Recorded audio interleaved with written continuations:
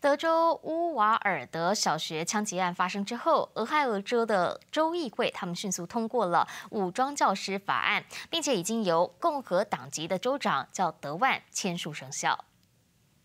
俄州州议会通过的条文规定，有意持枪回校的教职员培训时间将从七百小时减至最多二十四小时，之后每年接受八小时额外培训，以及通过犯罪背景审查就可以。州长德万表示，七百小时的培训指标是为执法人员而设，当中大量内容与学校安全无关。届时，教职员参与的培训计划必须经州府的学校安全中心核准。为此，当局将为中心增聘二十八名员工。法案落实后，预料金秋将有首批教职员通过培训。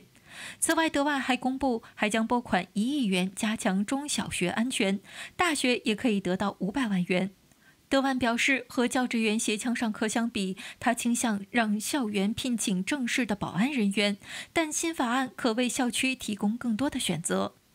俄州多座城市的民主党籍市长纷纷批评武装教师政策违反常理，法案将令校园更加危险。俄州警察工会也质疑，教师接受的枪支培训不足，无法保证校园安全。俄州去年有一百二十名儿童死于枪击，人数多于二零二零年的九十六人和二零一九年的七十一人。除了武装教师法案外，州内另一条法案也从十三号起生效，州民可在没有许可证的情况下外出时隐蔽携枪。中天中望真理报道。